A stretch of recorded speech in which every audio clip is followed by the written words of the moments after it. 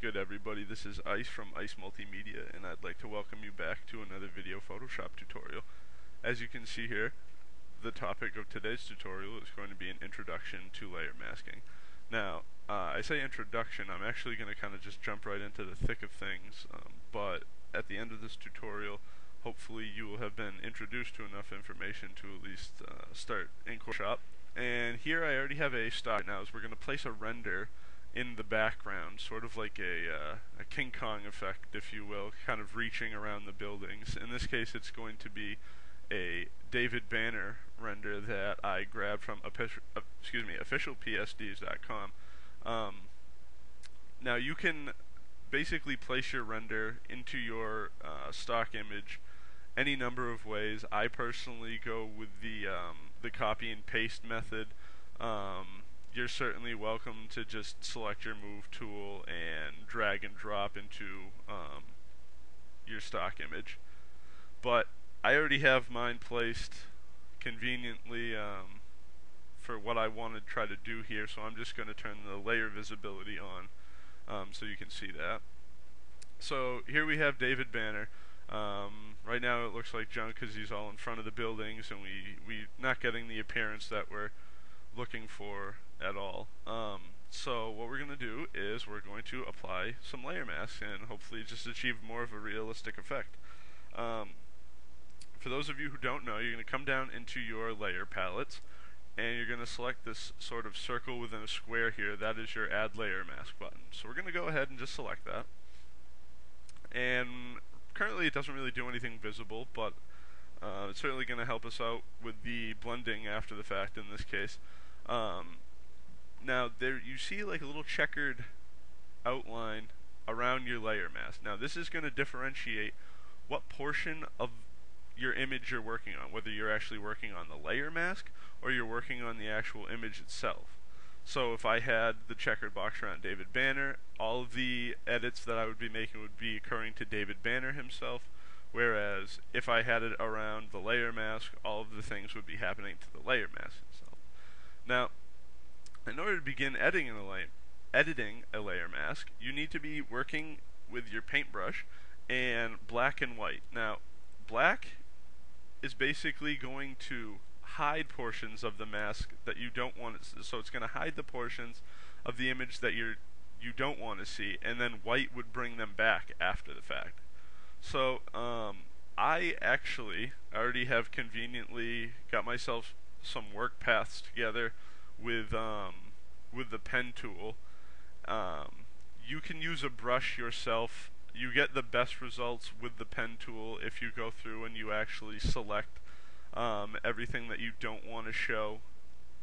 If you're unfamiliar with the pen tool, I can do a tutorial on that um, a little later on, but for the most part, I think uh, most people have a, a grasp on that. Um, so in this case, as I said, I'm going to be wanting to hide these portions of, of the render so it appears that he's sort of behind all of the buildings. Now, in order to do that, I want to go ahead and I would be painting in black, like I said, because I'm I want to make all of these areas disappear and that's just what I'm, I'm going to do. I'm going to go ahead and just paint out the render. You could also just use fill if you have the work paths. Um, I'm just going to show you how to do this real quick with the brush.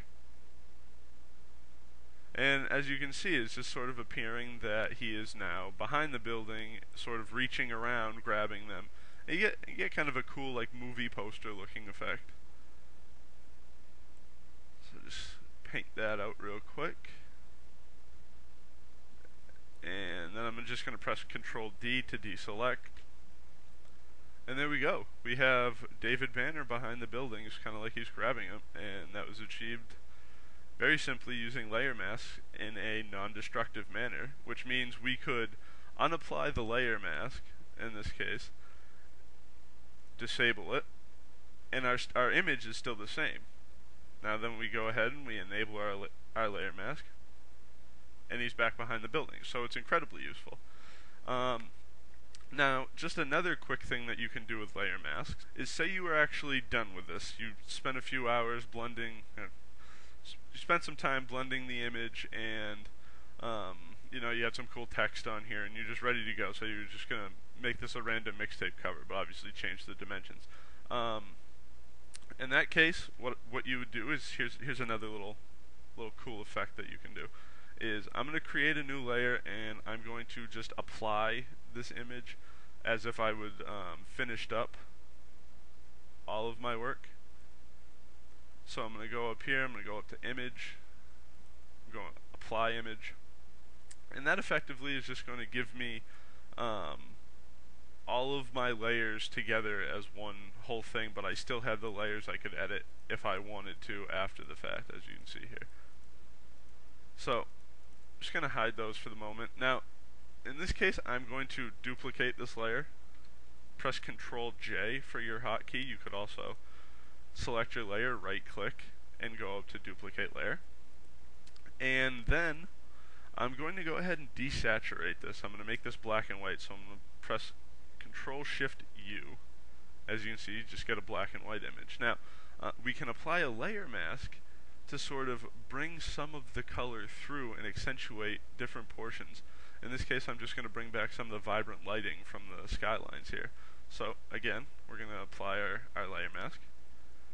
Working in our layer mask, we're going to go ahead and get our brush tool, and we're going to get a soft brush with a small, relatively small radius. Um, I'm quickly toggling through my brush size settings using my bracket keys right there. Um, now we're just going to go ahead and start painting on the mask, and we're just going to paint out all the areas that you know would would be lit, changing the, the diameter of our brush depending on you know how big the area is we're trying to select. And then if you happen to forget, you know, just where you want to uh, get rid of the mask, you can just go ahead and just toggle on the visibility, and you can see which parts you want to bring through. Come down here, and you, uh, you just bring some of the uh, the lighting accents out, and you get kind of a cool effect. Um, but there there are really lots of uses for layer masks. This is just two very very simple and easy ones that I'm showing you right here. Um, but pretty much once you learn the basic fundamentals, like I've pretty much shown you right here, um, you can apply them in so many different ways in your designs and, and get a lot of uh, interesting effects. So, um, I hope you learned something from this quick tutorial, and hope you look forward to more tutorials from ICE Multimedia in the future. If you have any questions, comments, concerns, just hit us up at icemultimedia at gmail.com. So, take it easy. One.